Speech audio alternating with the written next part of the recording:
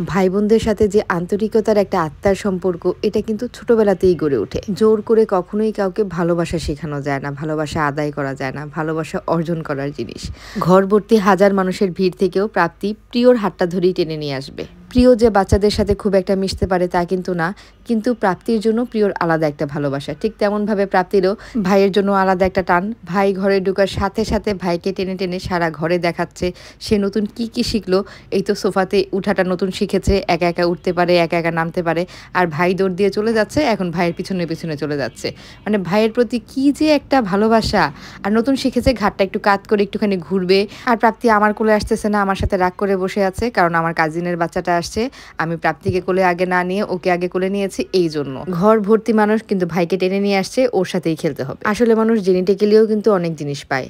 আমরা যখন বড় হয়েছি, আমাদের কাজিনদের মধ্যেও কিন্তু এরকম একটা বন্ডিংসই ছিল। প্রাপ্তি আর প্রিয় তো অনেক ছোট, ওদেরকে তো আমরা শিখিয়ে দিই নাই, কিন্তু ওদের মধ্যেও এত সুন্দর একটা বন্ডিংস আসলে প্রতিটা পরিবার আলাদা হয়, একটা পরিবারের সাথে আপনারা অন্য একটা পরিবার মিলাতে পারবেন না। আমাদের ফ্যামিলি বন্ডিংস নিয়ে দু একটা কথা বলি। গত ব্লগে আমি হয়তোবা বলেছিলাম যে, আম্মু অসুস্থ, আমার রিলেটিভদের বাসা থেকে খাবার আসবে। তো সেই কথা ভেবে অনেকে ভেবে নিয়েছেন যে আমাদের বাসায় কি আম্মু ছাড়া রান্নাবান্না করার মানুষ নাই। না রে ভাই, রান্নাবান্না করে এমন কোনো বড় বিষয় না, রান্নাবান্না তো হয়ই।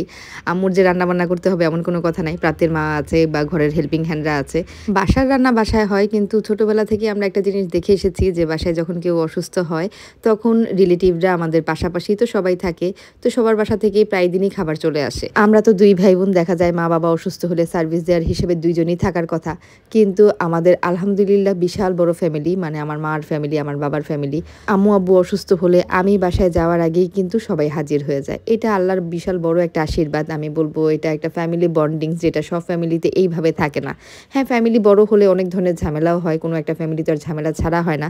কিন্তু এই তো কেউ অসুস্থ হলে কারও পাশে থাকা এইটার জন্য আসলে আমাদের কোনো মানুষের অভাব হয় না। যেটা বলছিলাম যে জেনিটেক্যালি কিছু বিষয় আছে, মানুষ এমনি এমনিই পায়। তো প্রিয় প্রাপ্তিকে দেখেও আমি বলি যে আমাদের ছোটবেলায় কাজিনদের মধ্যে যেরকম বন্ডিংস দেখেছি, প্রিয় প্রাপ্তির মধ্যে আমি সেই বন্ডিংসটাই দেখি। তাই সব সময় দোয়া করি হাজার ঝামেলার মাঝেও এই সম্পর্কগুলো বেঁচে থাকুক।